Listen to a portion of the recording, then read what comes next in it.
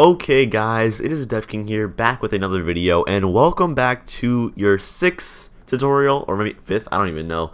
Anyways, welcome back to your um, advanced tutorial series, and anyways guys, in today's video, I'm going to be teaching you about the mouse, and how to use the mouse, and like, how to detect if a player like clicked, you know, or stuff like that. So this is a pretty important video. It's not too difficult, so um, you know, you know, it's going to be pretty easy. And um, yeah, but before we get into it, guys, make sure you go ahead and watch the beginner series if you are new to my channel, or else you, you might be very confused. So yeah, link to the beginner stuff is in the description below. Anyways, let's go ahead and start. Okay, so First things first, we're going to go ahead and insert a local script because the only way you can get the mouse is from a local script because you know you can't get the mouse from the server because it's like because that's that's a server, you know, it's not a person. So you have to use a local script. I'm gonna go ahead and put it inside of the. Actually, I'll put it in the starter pack. I'm gonna I'm gonna put the script in the starter pack. There you go. All right. So now, first things first, we need to get our player. So local player is equal to game dot players dot local player. Now I'm pretty sure I showed you guys this. It's just how to get your player and how to find out, you know, like who he is and you know you can yeah, now you have a player, right? Anyways, so now we have to get the mouse from the player. So what we do for that is we're going to do local mouse is equal to player and then get mouse. Now it's kind of weird. The player, it's okay. The mouse isn't a property of the player, but you have to use this function to get the mouse. So yeah, you use your player variable, and then you you know get your mouse like that. So now we have a, player and our mouse. Okay.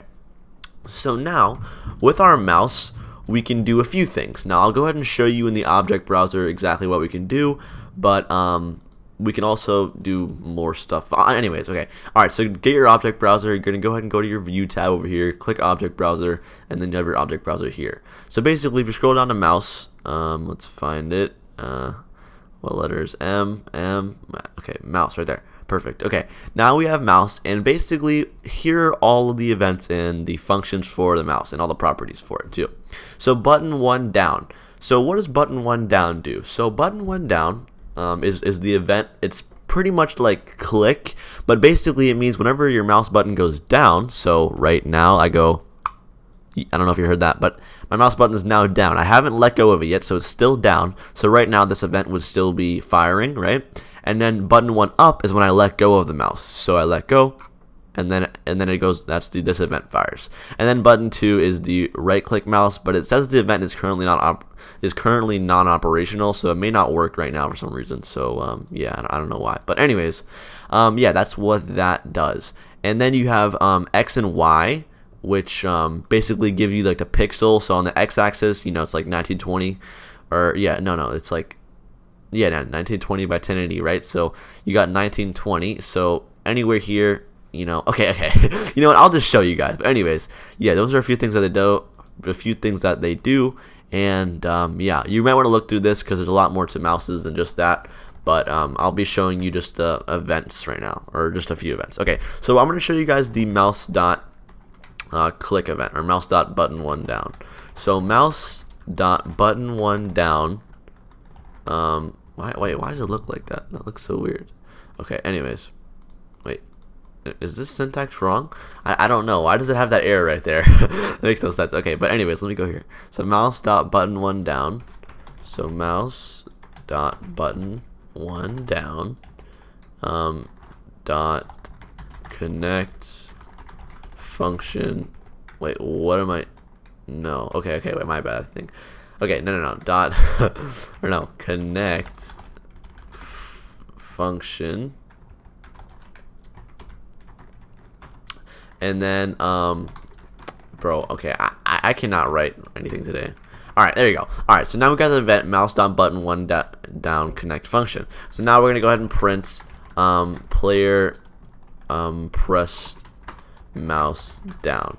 Okay, so basically now, as you can see here, um, whenever the mouse is down, the player is going to print out player pressed mouse down.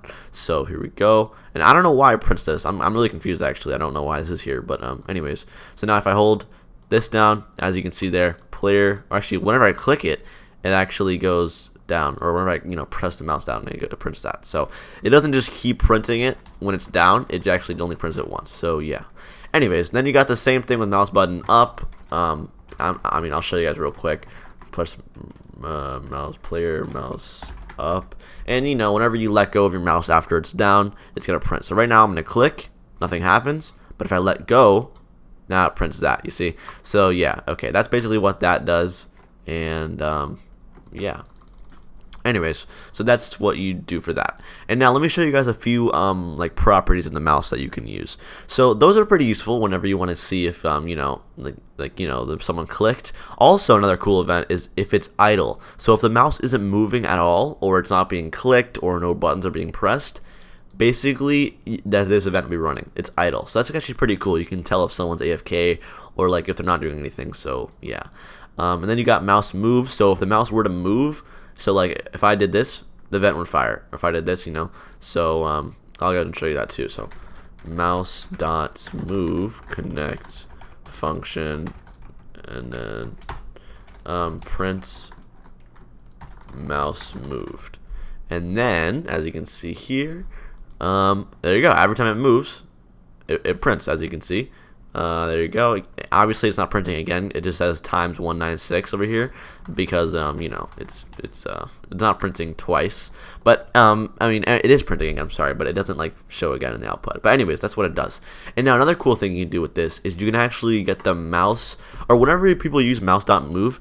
Normally they use it to you know like or people use the x and y value right here. So you can do this too. You can do print um, Actually, let me get rid of this because now you already know that. But you can do print mouse dot x and then you can print mouse dot y. And now what this is going to do is this is going to just print Okay, actually, let me format that better. it's going to print the mouse y and the x value. So I'm just going to put a comma here, actually, and then do mouse dot y. And now when you put a comma in a print statement and you put two different um, things, it's just going to print it on the same line. And there's a big little space between it. So yeah. So now you're getting, um, you know, the the dimension or the where your mouse is in the in the game um, in pixels. So yeah.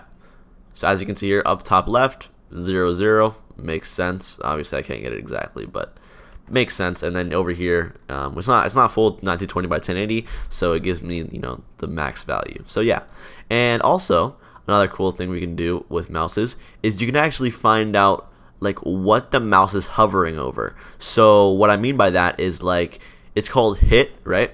And basically, um, if there's a part right here, right? There's a part we call it door.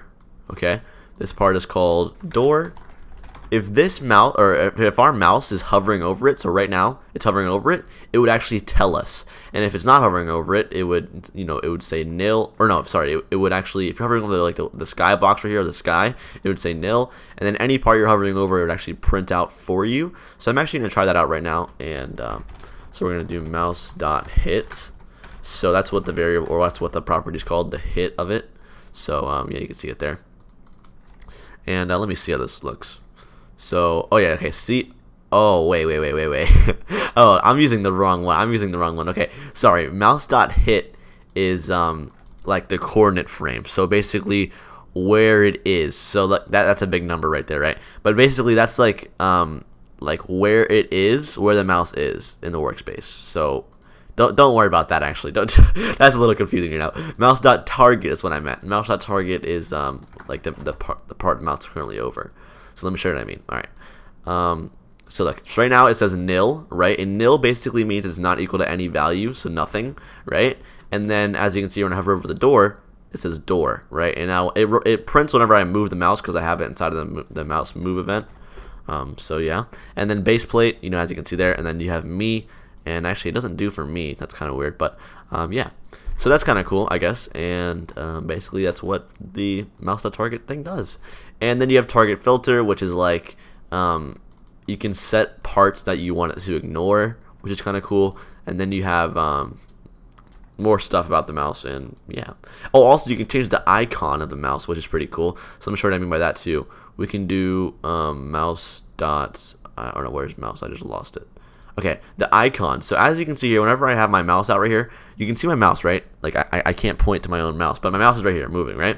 this mouse can actually change. You can change the icon of the mouse. So, it, for example, if you wanted to be like a a circle, you could do that, or you want to be like a you know like a Roblox player, that'd be kind of weird, but you could do that too. So uh, actually, let's try that out right now. Right now, so we're gonna do um, um, mouse dot icon is equal to oh actually you know what? I have to put the whole asset ID there. I don't have an asset ID right now. But okay never mind. But you can do that right now. If you want to look into that you can. Just look on the wiki. But um yeah. Anyways guys that's pretty much the end of the tutorial. Um I'm sorry it was a bit of a long one. Um hopefully you guys didn't get confused. I don't think it's too confusing. So um yeah. But anyways guys that's pretty much it. I hope you did enjoy the tutorial. If you did like always leave a like. And I'll see you guys in the next one. Peace